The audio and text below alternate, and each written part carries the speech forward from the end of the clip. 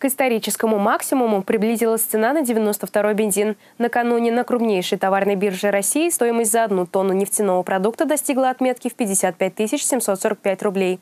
Почему бензин дорожает, объясняют эксперты Казанского федерального университета. Цена на 92-й бензин бьет рекорды не впервые. Предыдущий рекордный показатель был зафиксирован еще на прошлой неделе. К максимальным значениям также приблизились цены на 95-й бензин и дизельное топливо. По словам экспертов, обычно в таких ситуациях решающую роль играют два фактора – предложение и спрос. В случае, если спрос повышается, то есть товар становится востребованным, цены на него, соответственно, растут. Лето – это период повышенного сезонного а, спроса на бензин. В первую очередь, потому что идет период отпусков, то есть люди начинают ездить в отпуска по своем транспорте, да, соответственно, повышенный расход топлива, люди ездят на даче туда-сюда, э, и прочие эти поездки, то есть они как раз приводят к тому, что спрос на автомобильное топливо среди населения очень сильно растет.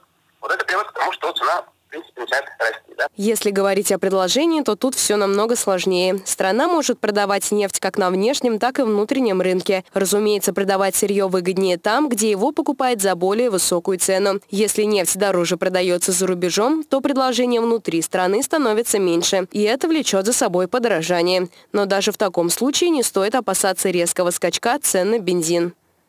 Изменения на оптовом, тем более на биржевом рынке, они не, на, не так напрямую сказываются на э, ценах на заправках.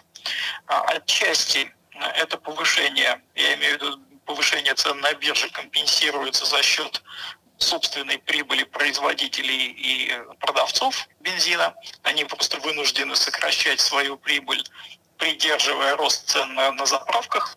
За резкими скачками цен следит и само государство. В России это Федеральная антимонопольная служба, а также Министерство энергетики. Хотя напрямую устанавливать цены на бензин эти органы не могут, в их силах ограничить темпы их роста. Все это для того, чтобы не возникло негативного явления под названием инфляция, в котором не заинтересовано ни государство, ни предприниматели, ни жители страны. Поэтому автовладельцам не стоит опасаться резкого подорожания бензина. Диана Желенкова, Универньюз.